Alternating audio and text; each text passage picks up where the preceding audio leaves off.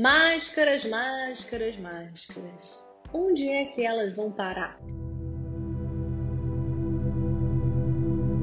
Já se estima que são mais de 130 bilhões de máscaras que o mundo já consumiu por conta do coronavírus. Mas e aí? O que, a gente vai fazer quando a gente vencer a pandemia mas não vencer a quantidade de máscara descartável no meio ambiente. Eu sou a Nina Marcucci, esse é o canal do Menos um Lixo. Te convido a se inscrever e a compartilhar aqui o que está reverberando em você. A gente está em pandemia e a gente viu no início da pandemia várias boas notícias, apesar da gente estar tá vivendo uma crise de insegurança, que é a natureza se regenerando, animais ocupando alguns espaços que a gente ocupou, alguns rios, lagos e vários espaços da natureza que estavam respirando, ainda que por alguns dias ou alguns meses. Mas a verdade é que a gente não está vendo outro problema, que é a quantidade de descartáveis que a gente está consumindo para evitar, claro, a contaminação em massa. E eu estou falando de luva, eu estou falando de máscara, eu estou falando de copo descartável, de tudo que as pessoas usam para evitar o compartilhamento de itens. Isso é muito perigoso. Bom, sobre itens descartáveis que não são luvas e máscaras, você já sabe se está aqui por um tempo, mas se você chegou aqui agora, eu te recomendo demais fazer o seu próprio kit de reutilizáveis.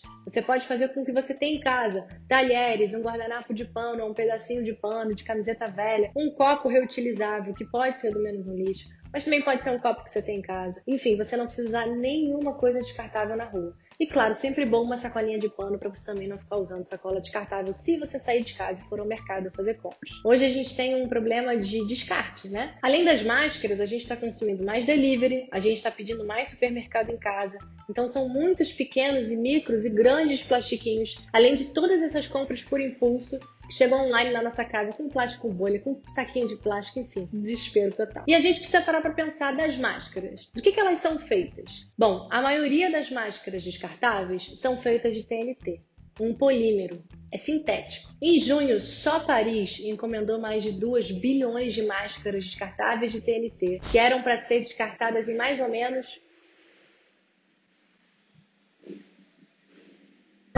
que tinham a recomendação de descarte de mais ou menos duas horas. Então, é óbvio, lixeiras, ruas, lixões, aterros sanitários, todos esses espaços do planeta estão recebendo cada vez mais máscaras. E o pior é que muitos oceanos, florestas e a natureza também está tendo que se alimentar delas. Mas e o fato delas serem de lixo hospitalar? Bom, isso é muito sério, porque o lixo hospitalar tem um procedimento muito específico, ou seja, todo esse resíduo precisa ser descontaminado antes de ser incinerado ou eventualmente ir para reciclagem.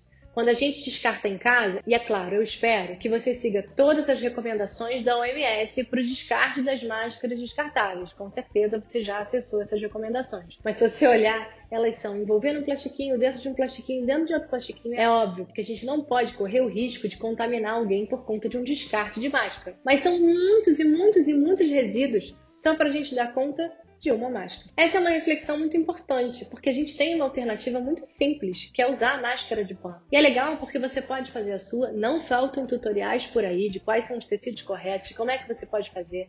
Você pode fazer com reutilização que você tem em casa, ou melhor ainda, você pode exercer o seu consumo consciente real, investir em cooperativas, em costureiras, em pessoas que estão precisando, inclusive, sobreviver na crise da pandemia vendendo máscaras de pano de tecido. Usar as máscaras descartáveis quando você não é do serviço de saúde ou quando você não tem um trabalho que você precisa trocar esse material com muita frequência, ou seja, se você vai ao mercado, ou se você vai no parque, ou se você vai correr, você usa uma máscara descartável, vamos combinar que não precisa. A máscara de pano ela pode suprir muitas dessas necessidades. Inclusive, exercícios físicos, tem máscaras específicas, tem muita gente olhando para isso, para que a gente consiga lavar nossa máscara reutilizável e não consumir cada vez máscaras descartáveis. Isso é um pensamento muito individualizado e é só um reflexo de como a gente vive em sociedade. Porque quando acabou lá no início da pandemia a máscara N95 e muitos profissionais de saúde não tinham essa máscara disponíveis, isso dá muito uma pista de para onde é que a gente está indo e onde é que a gente está. A gente precisa sim pensar coletivamente. Se você não é um funcionário da área de saúde, você não precisa trocar sua máscara com frequência por conta do alto risco de contaminação, por que não usar uma máscara de pano? Carregar outra máscara de pano com você, se for o caso, se você precisar sair ou se você trabalhar fora.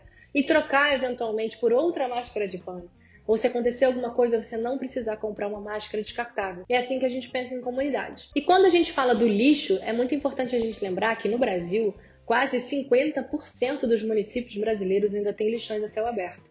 Então isso ainda tem um outro problema, porque esse lixo hospitalar que vai parar no lixo domiciliar, ele ainda pode e provavelmente contamina todo mundo que lida com esse lixão e todo mundo que mora ao redor. Além de contaminar com certeza lençóis freáticos, o solo, o ar, animais, enfim, o problema está instalado. A gente ainda está em estudos sobre muita coisa, o coronavírus ainda é muito novo e sempre lembrar que incineração inadequada de lixo tem um outro problema. Então, quando a gente ainda incinera de maneira domiciliar lixo contaminado, caraca, muito processo, muito problema e a gente nem está falando sobre isso de forma mais aprofundada. E por isso, o Pneuma está pedindo para os governos, é claro, que cuidem desse, desse resíduo, né? que tenham uma gestão adequada das máscaras e das luvas das pessoas que usam em casa ou que trabalham, que não estão em hospitais, por exemplo, ou em clínicas e consultórios médicos. Mas e daí? Não usa máscara? Claro que não. Sempre importante dizer, lembrar e reforçar que a pandemia precisa ser combatida e que a máscara é uso obrigatório. Então, assim, é óbvio, você não tem uma máscara de pano, vamos de descartável e vamos ver como é que a gente pode lidar com isso no dia seguinte.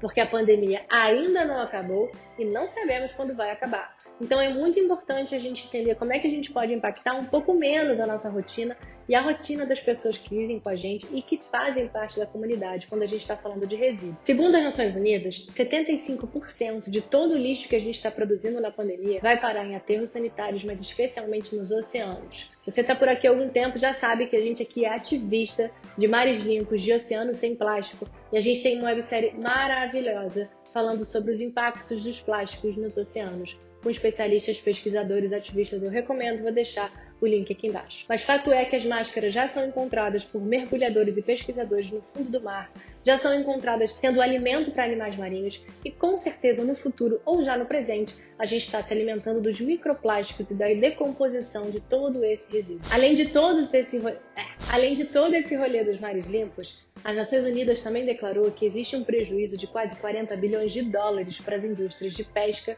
e também de turismo porque a gente vai ter que lidar ainda muito com esse resíduo durante a pandemia, mas especialmente quando ela acabar. Então, o importante aqui é faça sua parte. Use máscara, procure alternativas que não são descartáveis e deixe sim as que são descartáveis para a galera que precisa usar, para os médicos, para os enfermeiros, para os técnicos de saúde, para quem precisa realmente estar tá ali na linha de frente e precisa trocar essa máscara com bastante frequência e que, claro, tem recursos para descartar essa máscara de forma correta. E use e investe em máscaras de pano. Não faltam tutoriais maravilhosos na internet para você fazer a sua.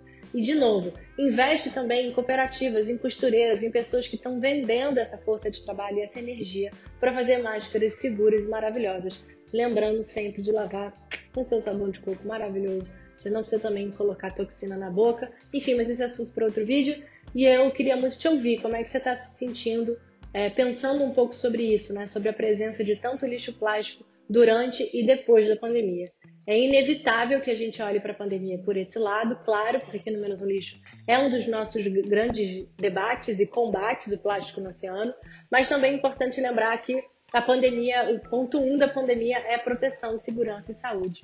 Então a gente precisa entender como é que a gente vai fazer a partir de agora e como que a gente pode contribuir individualmente para que esse problema não se multiplique.